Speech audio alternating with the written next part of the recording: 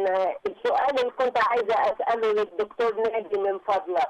لماذا لماذا فكرة الإلحاد بدأت تظهر هذه الأيام في الأزمنة الأخيرة؟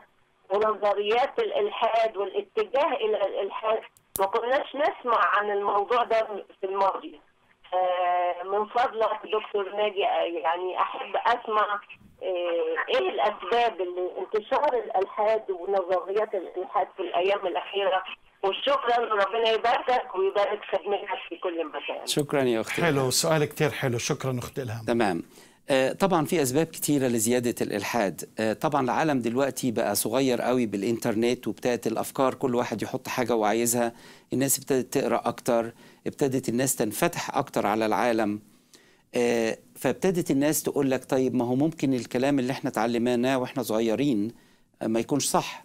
وابتدوا يحطوا أسئلة. المرحلة دي في حد ذاتها مش غلط مش غلط على فكرة إن الواحد يسأل ويستفسر ويمتحن كل شيء.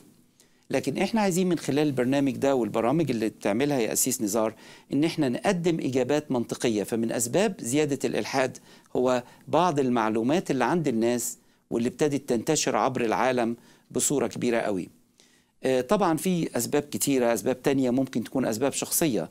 ان واحد اتعرض لأزمة كت- كبيرة وما تحققش الهدف اللي هو عنده فقال لك ربنا مش موجود. في أسباب اقتصادية وأسباب اجتماعية وأسباب فلسفية وأسباب علمية. ف- فالأسباب كتيرة قوي. كثير من الناس تعتقد أن الله صامت. آه. يعني مش عم بيسمع مش عم بيتواصل مش عم بيتفاعل مع احتياجاتهم. فبيصل إلى حالة يائسة آه. وبيستسلم لأي فكر تاني. بالظبط لأن مفهومنا عن الله مفهوم خاطئ. بنفتكر إن إحنا لما نصلي كأننا بندوس على زرار يجيب لنا الحاجات اللي إحنا عايزينها. الله مش كده.